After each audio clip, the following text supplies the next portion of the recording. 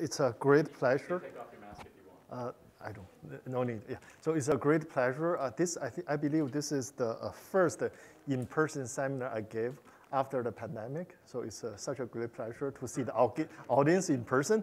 Uh, I'll talk about uh, merging human-machine intelligence with soft materials technology. I'll focus on sensors in this talk. Xuanhe Zhao from MIT. so conflict of interest disclosure. I'm a co-founder of a startup called Sana Heal, which is based on a bioadhesive technology. By the way, they have a, a startup showcase on the second floor, so just let everyone know. Uh, now, uh, the opportunity we see is really this uh, gap between humans and the machines, right? Uh, over the last century, we see great progress in terms of understanding and engineering human body. Uh, modern medicine, biology, genetics, uh, these are the opportunities. So similarly, in the domain of machines, we see electronics, computer, internet, AI, robotics, great advance. However, there's a huge gap in between, right? now, what if we can merge them together in a seamless way? Uh, so number one, impact better health. That's something we all want. Uh, if you take a look at all the way from wearable devices, medical equipment to medical implants, uh, these are machines merging with the human body uh, over you know, hours to days to even months to years, right? Uh, however, if you think about it, over uh, decades, uh, the interface between those devices and the human has not been changed. You know, usually metal electrode, uh, something like that, uh, in uh, interaction with the human body. And uh, you know, we design more and more sophisticated machines, but uh, lots of challenges we still cannot address. How to detect COVID contraction in real time, right? how to continuous measure and modulate blood pressure over months. how to treat stroke remotely within the golden hour. These are the you know, challenges. Uh, so we have the equipment, we have the machine ready. Due to this weak interface, uh, we really cannot achieve this vision. Uh, understand the brain, that's the second impact. So we have 86 billion neurons in the brain. Uh, how to even interface with a million neurons in a living brain? So we have no idea at all how to do that. So the state of art is uh, 3,000 neurons, uh, right, by Neuralink. however, uh, you know, the supercomputer in terms of data processing capability, data storage capability, uh, we can, uh, you know, uh, uh, in parallel process uh, th those data. Uh, due to this uh, weak interface, we still cannot form this, uh, you know, a better understanding of the brain. then if we can really form, you know, hu human-machine intelligence, does it mean super intelligence? if we can change our mind from one avatar to another avatar, does it mean robotics? Uh, and also, can we be the God in our own VR world or the metaverse, right? So the recent uh, hot uh, topic, right? Really, the uh, third impact, extend human capability.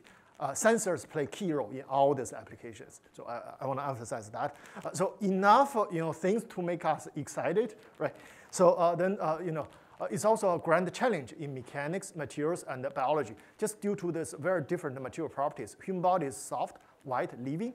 Uh, you know, traditional machines usually based on hard, dry, inorganic materials. Right? How to merge them together? That's really the challenge. Uh, then, uh, if you take a look at the major components of a uh, human body, right, uh, all the way from you know fat to tendon, they are all soft materials. Uh, so their modulus on the order of 1 kilopascal to 10 megapascal. They are also white, containing 70 to 90% water. Uh, they are living hydrogels. They can grow, sense, respond, self-heal. Also very robust under millions of cycles load, right? Uh, then based on this understanding, we propose uh, this uh, uh, concept.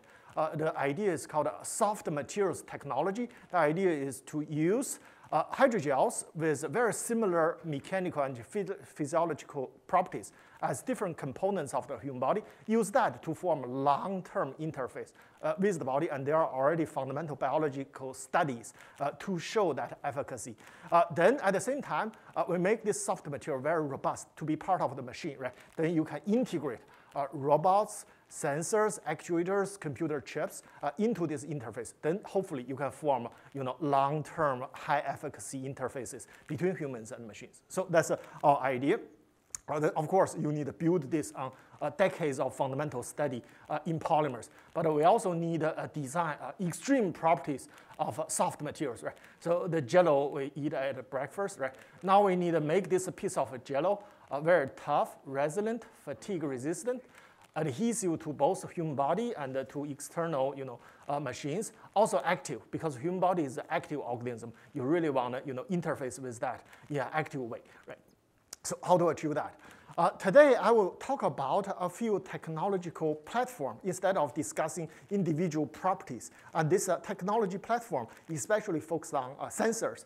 Uh, I want to you know, use that as examples of uh, those uh, designs of those extreme properties. Right? the first one is hydrogel bioelectronics to replace metal electrode. this is, you know, bioelectronics is, you know, ancient phenomenon, right? Is thousands of years ago. Uh, we already discovered this phenomenon. And in 1979, really, this uh, frog leg experiment uh, initiated the you know, scientific study of this phenomenon. And at the very beginning of this century, right, there are already FDA-approved devices. These are sensors or you know, uh, pacemakers uh, to interface with the body, right? So there are now it's a, a huge business over 1 million pacemakers per year, uh, 200,000 defibrillators per year, uh, 50,000 cochlear implants per year, right? So just a, a huge uh, opportunity. Uh, now let's think. So in all those devices, we rely on metal electrode. It's a piece of metal, uh, you know, literally in contact with uh, human tissues, right? Uh, so for both recording and the stimulation, right? Now let's take a look at the design criteria for bioelectrode. Uh, we need a high capacitance, high charge injection capability, low modulus to match the you know, mechanical property of tissues, moderate conductivity. We don't need extremely high conductivity. High stability, you know, you can see only this high stability is metals merits. All others are not. Then uh, is metal, uh, you know, ideal candidate for bioelectrode? Uh, so our answer or our vision is no. We believe hydrogels, right, this uh, interface I just proposed with very similar mechanical and physiological properties as human body may be a better candidate to interface with the body. Right? Uh, so then uh, I will now discuss details uh, we develop a hydrogel bioelectronics. So here you can see these are 3D printed uh, fully hydrogel bioelectronics. Right? Uh, the inner part is a conducting polymer hydrogel. Outer part is a hydrogel insulator. Uh, then with this, uh, now you can pattern very fine electrodes. And these are very soft electrodes. Uh, then we use these soft electrodes uh, to interface, to form a really long-term interface uh, with rats models. And with that, uh, we can have a long-term, you know, individual, uh, you know, neural uh, modulation and neural sensing of within this living rats, right? over days, even months. So that's one example. the other example is uh, now, uh, so we also developed, so the previous one is uh, very invasive, implantable electronics. Uh, then another field we uh, developed is ingest, ingestible hydrogel bioelectronics. So this is a bioelectronic device, right? So the size is like a drug pill we take daily. however, once you take it, you know, uh, within the stomach, due to this acyclic environment, it swells dramatically, and the size of uh, this pill uh, become larger than the floor of the you know, uh, stomach. Uh, then it stay in the stomach uh, for days, even you know, a month, so over a month. then the bioelectronic component within this you know, smart pill will function over this period of time. Uh, then uh, so here is uh, one example. Now you can continuously measure temperature. This is not a clinical trial, but this is a peak trial over 30 days, right? Uh, you can see uh, continuously over 30 days. Now you can uh, long-term monitoring the gastric temperature over 30 days of a pig for the first time, we believe. So you can see now you can further zoom in to look at the details, right? So this is the you know temperature profile over a whole day. Uh, it turns out, so one discovery is uh, this, uh, uh this, uh, this, uh, this uh, you know, temperature, gastric temperature pattern of this pig is even more regular than many of our students. So let me explain this to you. Right? So from 12 a.m. to 8 a.m., relative constant temperature. Right? And you can see at the morning, around 7 a.m., there's a drop of this temperature due to breakfast. Right? Uh, and then all the way to lunch, another one, very regular, uh, uh between 11 to 12 p.m. Uh, and then after that, this is some afternoon snack, uh, and then this is, you know, evening meal, right? This is the dinner, right? You can see. And then, uh, so for different pigs, you also have different patterns. So pigs develop this kind of pattern. So uh, basically, now you can see with a very soft material, a piece of hydrogel, the rigidity is like a food. Uh, you eat it, it stay in the stomach uh, for days, even months. That can continuously uh, measure the physiological condition of the, uh, you know, currently it's a pig model, and in future we want to develop uh, human models, uh, you know, clinical trials with this. So that's one. the other one is bioadhesive. Now, we want to go to another step. So instead of just put something there, we want to even adhere this to the body. So, uh, so we know there are over 200 million major surgeries per year. Uh, most of them require suture to close the wound. However, suturing is uh, not an ideal uh, you know, strategy to close the wound. It can cause tissue damage, pain, scar, infection, even leakage. And if this leakage is uh, you know, severe, it can be fatal scenario. Right? Uh, suturing is also an ancient technology. You can see, again, thousands of years ago, we have been using suturing to close the wound and all the way to, uh, again, the beginning of this century, uh, you know, companies like uh, Johnson Johnson, Ethicon begin to develop adhesives uh, to replace sutures. However, uh, there are lots of challenges with uh, existing tissue adhesives. they are weak or brittle. they form slow adhesion. many of them are toxic. You know, they use monomers and those monomers can cure into rigid plastic, and the plastic is more rigid uh, than the native tissues of the human body. And also the handling of those uh, uh, tissue adhesive can be complicated. It requires UV, heat, mixture, spreading liquids. So with all these uh, complications, it's very challenging to replace suture with tissue adhesives. Uh, the, we develop uh, you know, a strong, fast bioadhesive uh, use this, uh, we call it a dry cross-linking mechanism. The key idea is uh, we develop this, uh, uh, you know, tissue double-sided tape. So it's like a scotch tape, right? Uh, but you put this, use this to adhere tissues. And this is scotch tape, when it's getting in contact with the surface of tissue, it absorbs water. then it swells up into a hydrogel. Very soft, matching the you know, rigidity of tissues. And then it forms both a fast reversible adhesion and a strong covalent adhesion with the tissue, and then this uh, adhesive turn into a tough hydrogel so that you have all the components to form extremely strong and fast bioadhesion uh, with this normal form factor uh, tissue double-sided tape. So that's that. Then just show you a sashimi plate. you can see this is a tendon, right? We put water in it uh, you put a, a tissue double-sided tape, five seconds really, uh, and then uh, you know you can do this uh, peeling test. Uh, extremely uh, strong adhesion, and this is applicable to all other tissues. Right? let me show you extremely strong adhesion. So it applies to skin, tendon, stomach, muscle, heart, liver, right? You can adhere them together. You can adhere hydrogel, silicone, titanium, PDMS, polyimide, polycarbonate, really adhering uh, humans and machines together within five seconds. And let me just compare uh, with the state of art. So these are the bioadhesive that we can find on market. And these are their performance in terms of strength and toughness. And by the way, these are uh, uh, we test those da data, we measure those data, it's consistent with the reported data. So that's the state of our performance.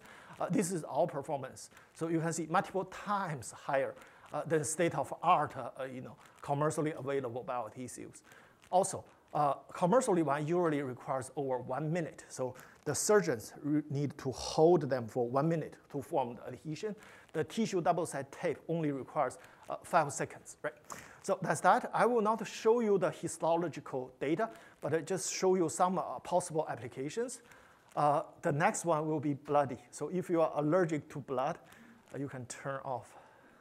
So here is, uh, you know, we poke a hole on the heart, extremely severe hemorrhage uh, condition. And with this bioadhesive technology, within five seconds, uh, we can seal this hole and then save this rat. So here is the quantitative summary.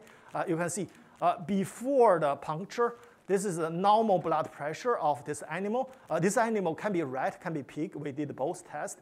And then after the puncture, the blood pressure dropped over 50%. Right? And if we let this last a few seconds, uh, this animal will die. However, quickly, uh, we can use uh, this bioadhesive technology to seal the wound and it recovers the normal blood pressure. And by the way, this is the SanaHeal's technology. So the startup is based on this technology. If you're interested, you can take a look at the, uh, the uh, startup uh, spotlight. Uh, so that's that. And then another possibility is adhering sensors to the body, right? So again, we have lots of implants, uh, uh, possible implants in the body. Currently, people suture them on. So here, literally, now you can adhere bioelectrode. Uh, here we use metal because it's rigid. You know, soft one is even easier to adhere. Uh, then here is a surface skin ECG, and at the bottom you can see is the you know epicardial ECG. Uh, it's a stable and biocompatible over days, even months. Uh, you can see this is uh, day one to day 14 uh, results. in terms of conductivity, impedance, interfacial toughness, all maintain similar level. Right? So uh, I will not discuss uh, further of this direction, but uh, so we develop very soft sensors similar to human body. Uh, so I demonstrated the implantable and ingestible, even wearable applications. So we develop all these applications to measure human body, uh, you know, activity and physiological condition. At the same time, we develop adhesive technology, both for wound and for bioimplants into the body. Uh, then the last one, I want to discuss uh, quickly the, uh, this uh, soft scenario. Right? Uh, so this is a biorobots to remotely empower doctors. So uh, I'll go directly to the problem, as I mentioned, how to treat a patient, you know, especially this ischemia stroke patient within this golden hour. Right? Uh, this is number one cause of uh, disability, number four cause of death, right? Uh, huge societal impact, and especially after COVID, we see more and more, uh, you know, stroke patient due to COVID.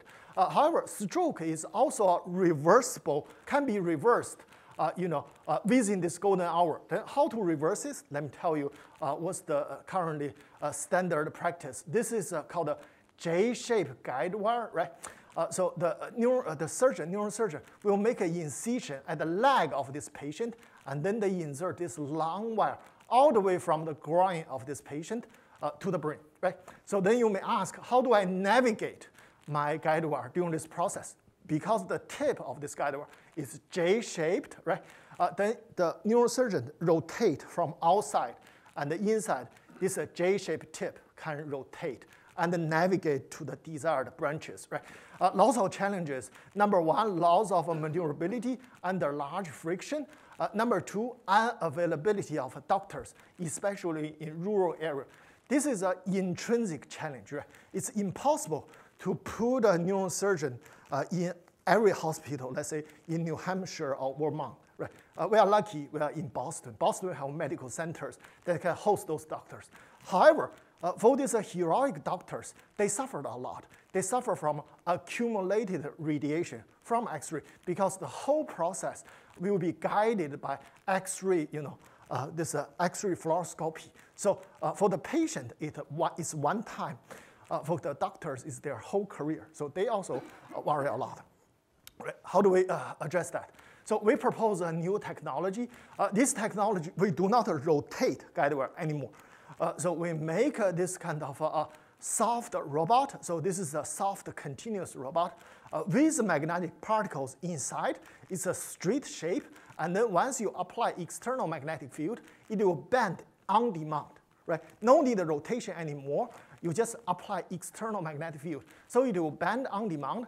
At the same time, uh, this hydrogel will provide this uh, human-machine interface. Very soft, very slippery hydrogel skin uh, will make this, uh, you know, uh, greatly reduce the friction of this robot in the body.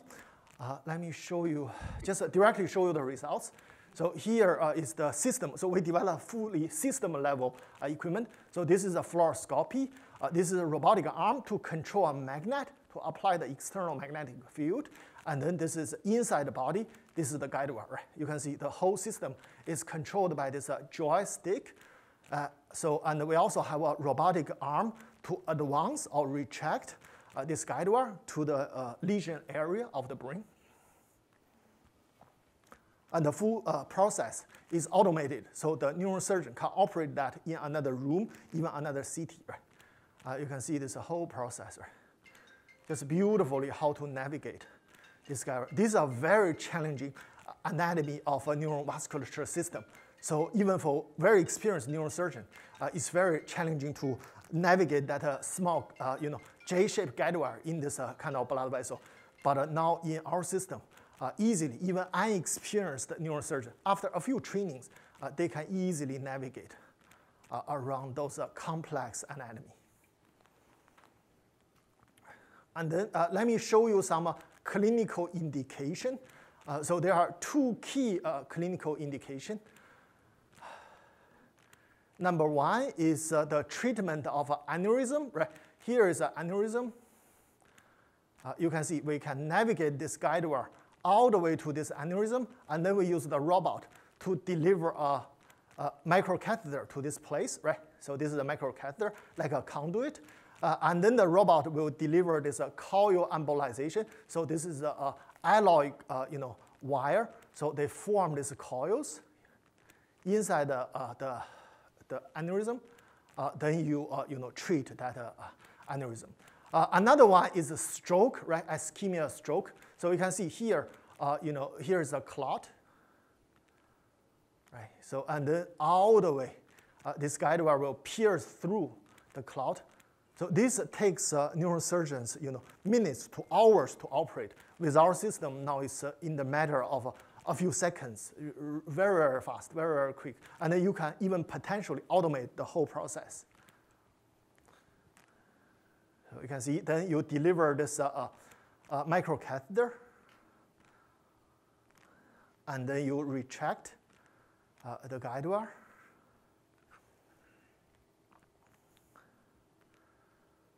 And then you deliver something called a stent retriever. Uh, it's like a net uh, to capture this clot.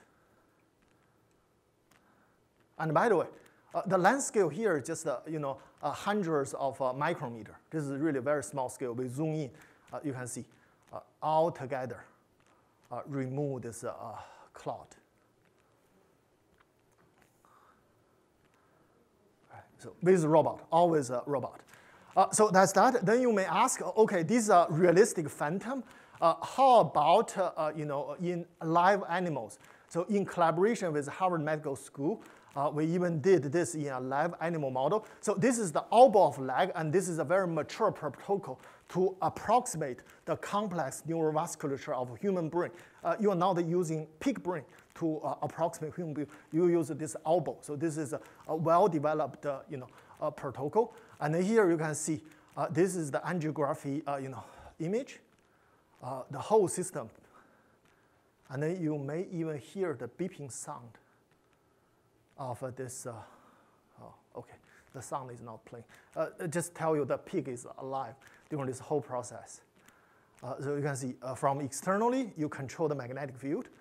you navigate this guide wire beautifully uh, within this uh, blood vessel. And by the way, uh, we have a roadmap. This is our GPS. So based on this roadmap, we can control how to navigate the guide wire. Uh, here is a real time, like the LIDAR sensors, right? There was a talk on LIDAR sensors. So this is the LIDAR sensor in the blood vessel. Uh, the whole process can be potentially automated. Uh, so I will uh, just uh, move to, so I want to uh, tell everyone our vision. So the vision we have is uh, AI plus 5G or 6G, uh, basic high-speed communication plus robotics. Uh, many people think this will give us autonomous car, right? Scientists is working extremely hard towards this vision, right? Uh, however, there can be societal issues, right? How about so many Uber and Lyft drivers, right? They will be out of job. Uh, then how about pedestrian? If there were an accident, right? Uh, who should be responsible for this accident, right? The pedestrian, the car driver, car owner. There can be lots of societal issues. However, we believe uh, this, uh, of course, sensor technology is extremely important.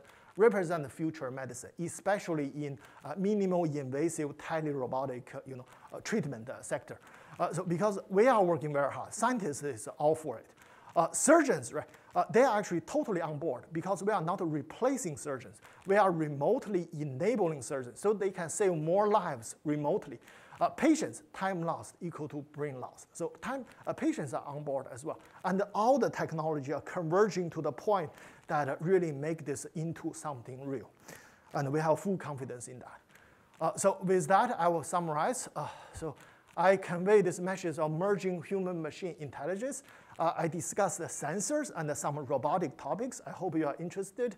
Uh, the potential impact can be huge. Better health, understand the brain, extend human capability. Uh, and uh, so this is uh, really SanaHeal's technology now. So this startup is translating this technology, bioadhesive technology, for you know societal and clinical impacts. Yeah. Acknowledgement. So in terms of the bioelectronics, Bao Baoyang Lu and Hyunwoo Yuk, Is actually in the audience. Uh, so they really contribute uh, dramatically in this uh, bioelectronics area. And then there's a brilliant student, Hyunwoo Yuk, uh, who is the CTO of Sana Hill, by the way, uh, is uh, you know, in charge of this whole bioadhesive platform. Uh, Yoonho Kim is in charge of this uh, biorobots area, and uh, with Liu Wang and Ruike Zhao, this is currently assistant professor at Stanford University. And oh, the last one. So acknowledgement, Ellen Roche, uh, Shawn Chester, Pradeep Sharma, uh, Babit Padar, these are research collaborators. And we have a whole team, dream team of clinical uh, uh collaborators. Uh, Christoph Nabzdyk, uh, Rafa Biano, uh, Leah Griffith, Aris Vevs, Franco Lazzolfo, Aman Patel, who is the chief neurosurgeon at MGH and the funding agencies. Thank you very much.